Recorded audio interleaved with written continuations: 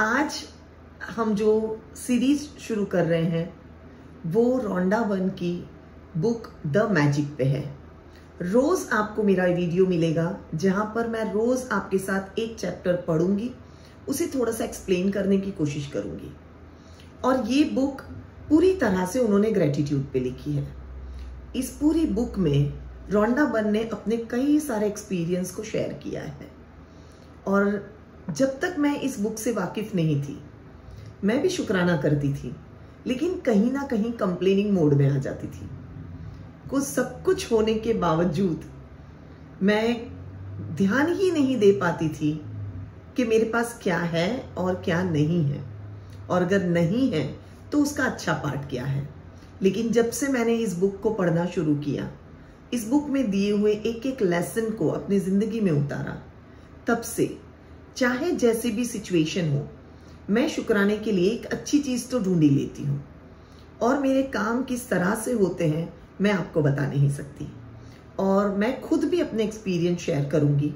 लेकिन आज chapter one हम शुरू कर रहे हैं, उससे पहले आपको खुद से कुछ कमिटमेंट करने होंगे। तो वो कमिटमेंट क्या है, पहले हम उनके बारे में बात कर लेते हैं। सबसे पहला कमिटमेंट आप ये 28 दिन का जो भी वीडियोस मैं पोस्ट करूँगी, उसे आपको रेगुलर देखने हैं। एक भी दिन मिस नहीं करेंगे। और अगर एक दिन भी मिस हुआ तो आप डे वन से वापस शुरू करेंगे। अगर आप कमिटेड हैं कमेंट बॉक्स में कमेंट ज़रूर लिखना कमिटेड जिससे मुझे पता चले कि आपने मेरे वीडियो को देखा है और सेल्फ कमिटमेंट दिया है। दूसरा, इसमें जो जो एक्सरसाइज रोंडा बन ने हमें बताई है आपको वो एक्सरसाइज दिल से करनी है। और उस एक्सरसाइज के रिज़ल्ट आपको देखने हैं। तीसरा, सबसे इंपॉर्टेंट काम जो आपको करना है। जैसे हम डॉक्टर के पास जाते हैं डॉक्टर दवाई लिख कर देते हैं, हम दवाई पी लेते हैं। लेकिन हम ये नहीं सोचते वो दवाई पेट में जाके कैसे असर करेगी, मेरा बुखार उतरेगा या नहीं उतरेगा, मेरे बदन का दर्द खत्म होगा या नहीं खत्म होगा। हमारा एक यकीन होता है कि हमने डॉक्टर को दिखाया और डॉक्टर ने जो भी हमें दवाई दी, उससे हमें फ़ायदा हो जाएगा। सेम उसी तरह, रोंडा बन ने जो भी हमें एक्सरसाइज बताई है, वो बिना किसी इफ़ या बट के हमें वो एक्सरसाइज करनी है। हमें ये नहीं सोचना है कि इतने दिनों से मैं एक्सरसाइज कर रही हूँ, लेकिन मुझे कोई फ़र्क नहीं पड़ रहा। पता नहीं ये बुक मुझे काम आएगी भी या नहीं आएगी, या रोंडा बन की कितनी बातें सच होगी। लेकिन माय डियर फ्रेंड्स अभी तक, रोंडा बन ने लाखों लोगों की ज़िंदगी में एक पॉजिटिव इम्पैक्ट दिया है इस बुक के थ्रू मेरा ये यकीन है कि इनशाला आपकी ज़िंदगी में भी, अगर आप इनकी बताई हुई सभी टेक्निक्स करते हैं, पूरा होमवर्क कंप्लीट करते हैं तो आपकी ज़िंदगी में भी वो चेंज वो इम्पैक्ट ज़रूर दिखेगा। तो ये कुछ छोटी छोटी बातें हैं जिनका आपको ख्याल करना है। और इस 28 दिन की मेरे साथ की जर्नी में आपको मेरे साथ बने रहना है। हर बार जब भी आप एक वीडियो मेरा देखेंगे सेम डे आपको वो एक्सरसाइज कंप्लीट करनी है। और मेरी हौसला अफजाई के लिए मुझे कमेंट करके ज़रूर बताना है कि आपको मेरा वीडियो कैसा लगा। और आप जिस किसी की ज़िंदगी में ग्रैटिट्यूड के ज़रिए खुशियाँ लाना चाहते हैं, उन तक मेरे इस वीडियो को शेयर करना है। मेरी छोटी सी कोशिश है कि मैं रोंडा बन का मैसेज आप लोगों तक पहुँचा पाऊँ। लेकिन आपकी भी कोशिश रहनी चाहिए कि आप इनके मैसेज को पूरी दुनिया में फैलाएँ। So thank you so much आप मेरे इस जर्नी का हिस्सा बने और हम आज पहला चैप्टर शुरू कर रहे हैं। दिल से मैं रोंडा बन को थैंक यू कहना चाहती हूँ, जिन्होंने इतनी खूबसूरत बुक लिखी ग्रेटिट्यूड पे, और जिनकी वजह से आज मेरी ज़िंदगी में बहुत ज़्यादा पॉजिटिव इम्पैक्ट है। तो हम शुरू करते हैं आज का पहला चैप्टर रोंडाबन का पहला चैप्टर है, और उन्होंने जो लिखा है मैं पढ़ूँगी भी छोटा छोटा जो एक्सप्लेनेशन है वो भी करूँगी, बहुत ही सिंपल लैंग्वेज में समझाने की कोशिश करूँगी और आप इस वीडियो को एंड तक सुनेंगे और ये एक्सरसाइज करेंगे। तो पहला दिन, यानी पहला चैप्टर अपनी नियामतें गिने। जब मैंने अपनी नियामतें गिनना शुरू की तो मेरी पूरी ज़िंदगी बदल गई। विली नेल्सन जन 1933 गायक, गीतकार। इन्होंने एक बहुत ही खूबसूरत अपना एक कोट इस बुक में दिया है कि जब मैंने अपनी नियामतें गिनना शुरू की तो मेरी पूरी ज़िंदगी बदल गई। और अब हम आगे देखेंगे। आपने लोगों को कहते सुना होगा कि अपनी नियामतें गिनो। जब आप कृतज्ञ होने के लिए चीज़ें खोजते हैं तो दरअसल आप बिल्कुल यही कर रहे होते हैं। लेकिन हो सकता है आपको ये एहसास ना हो कि अपनी नियामतें गिनना एक बहुत ही शक्तिशाली अभ्यास है, जिससे आपका पूरा जीवन जादुई ढंग से बदल सकता है। जब आप अपने पास मौजूद चीज़ों के लिए कृतज्ञ होते हैं तो चाहे वो कितनी भी छोटी क्यों ना हो, आप उन्हें तुरंत बढ़ता हुआ देखेंगे। यदि आप उस धन के लिए कृतज्ञ है जो आपके पास है, चाहे वो कितना भी कम क्यों ना हो तो आप देखेंगे कि आपका धन जादुई ढंग से बढ़ रहा है। आपके पास अभी कितने ही पैसे हैं, चाहे वो कम है, चाहे वो ज़्यादा है, लेकिन बिना सोचे आपके पास जो पैसा है, उसके लिए आपको शुक्राने की फीलिंग लानी है। कृतज्ञ होना पड़ेगा। यदि आप किसी संबंध के लिए कृतज्ञ हैं, भले ही वो आदर्श ना हो तो आप उसे चमत्कारिक अंदाज में बेहतर होते देखेंगे। यदि आप अपनी वर्तमान नौकरी के लिए कृतज्ञ हैं, भले ही वह आपके सपनों की नौकरी ना हो तो परिस्थितियाँ इस तरह बदलने लगेंगी कि आपको नौकरी में अधिक आनंद आएगा। और सभी तरह की प्रगति के अवसर अचानक प्रकट होंगे। हमारे पास जो भी रिश्ता है, हमारे पास जो भी जॉब है, हमें उसके लिए भी कृतज्ञ होना है। और आप देखेंगे कि किस तरह से आपके रिश्ते, आपके पैसे और आपकी जॉब में आपको मैजिकली चेंज दिखेगा। इसका दूसरा पहलू यह है कि जब हम अपनी नियामतें नहीं गिनते हैं तो हम अनजाने में ही नकारात्मक चीज़ों को गिनने के जाल में फंस जाते हैं। जब हम उन चीज़ों के बारे में बात करते हैं जो हमारे पास नहीं है तो हम निश्चित रूप से नकारात्मक चीज़ों को गिन रहे होते हैं।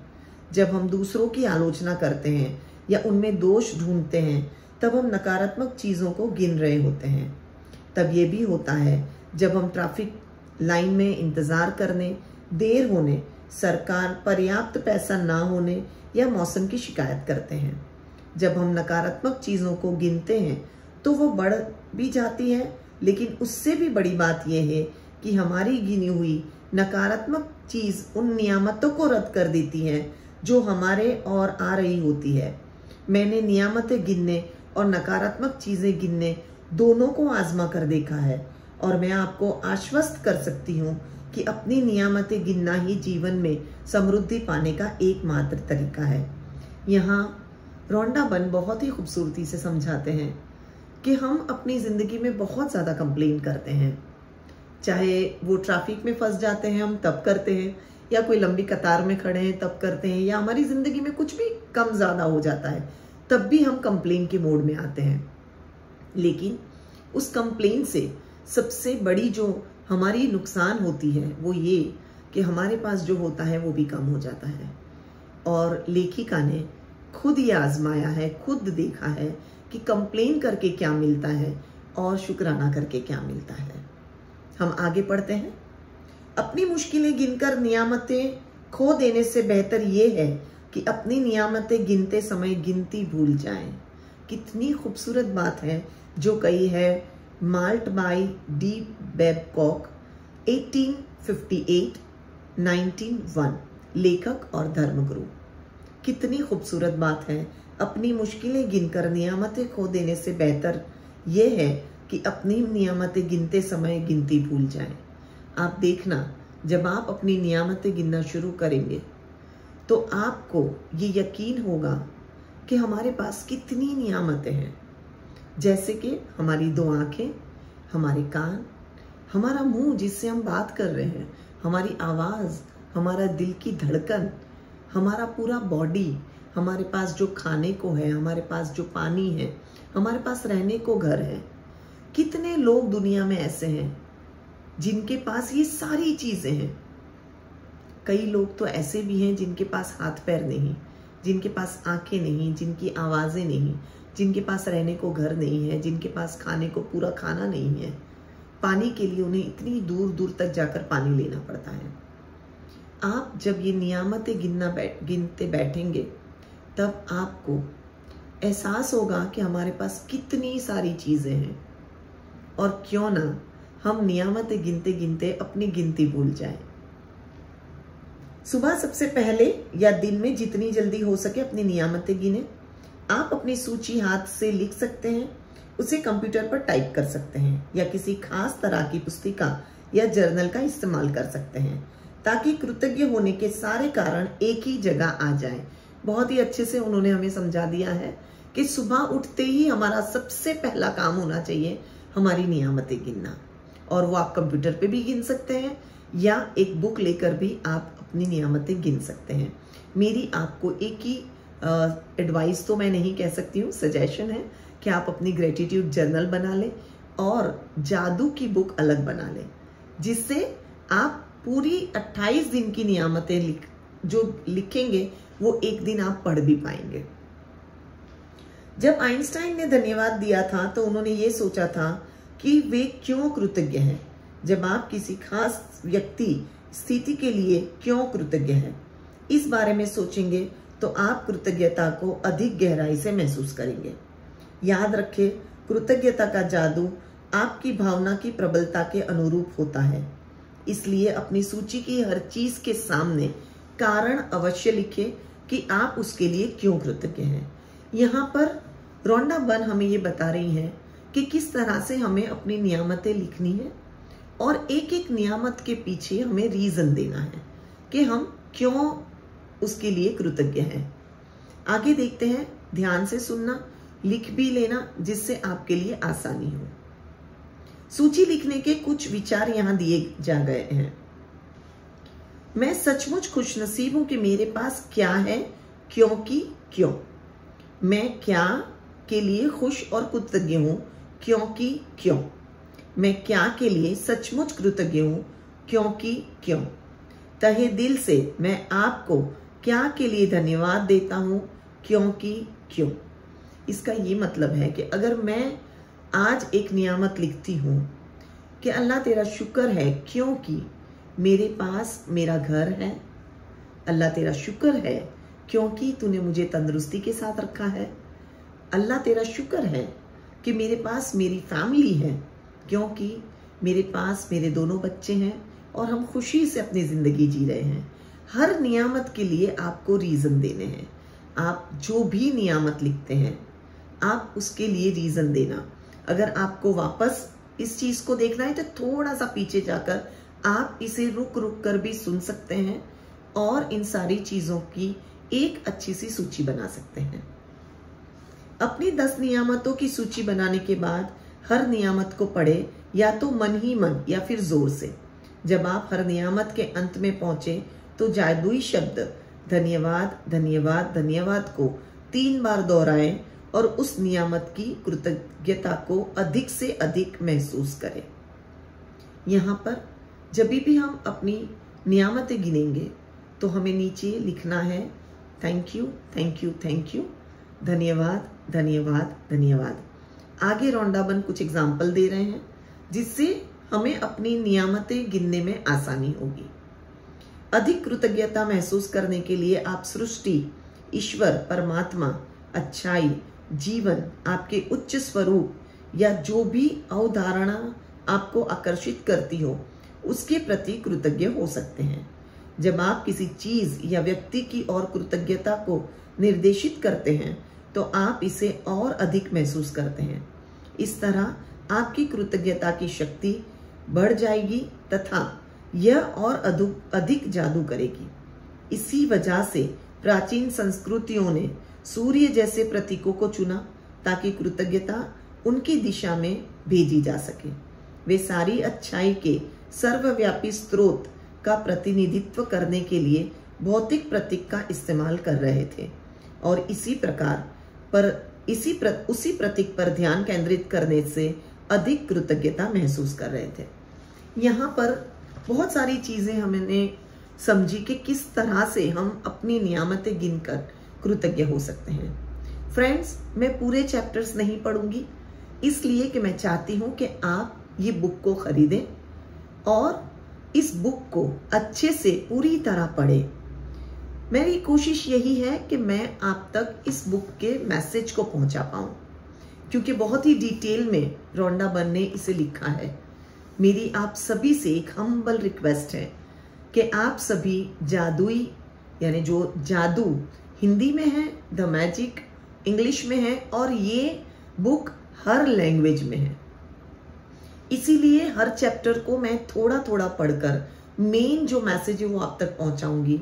बट अगर डिटेल पढ़नी है तो आप ये बुक खरीदें और इसकी डिटेल को पढ़ें। तो इस चैप्टर को हम यहाँ ख़त्म करते हैं। इस चैप्टर में रोंडाबन ने हमें अपनी नियामतें गिनना सिखाया है। बहुत सारे एग्जाम्पल्स भी उन्होंने दिए हैं कि हम किस किस चीज़ों के लिए शुक्रगुजार हो सकते हैं। आज से ही आपको अपनी नियामतें गिनना शुरू करना है। 28 दिन का ये अभ्यास आपकी ज़िंदगी में मैजिकल चेंज लेकर आने वाला है।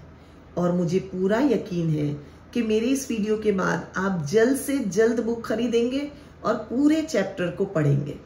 और इसकी छोटी सी जो एक्सरसाइज बताई है, वो आप करेंगे। थैंक यू सो मच मेरे साथ बने रहिए। 28 दिन के इस सफ़र में हम डिटेल में समझेंगे कि किस तरह हम डीप ग्रेटिट्यूड अपने अंदर, अपनी ज़िंदगी में लाकर खुशियाँ लेकर आ सकते हैं। Thank you stay connected thank you so much आप खुश रहें, तंदुरुस्त रहें। यही दुआओं के साथ मिलते हैं दूसरे वीडियो में, दूसरा दिन यानी सेकेंड चैप्टर में। Thank you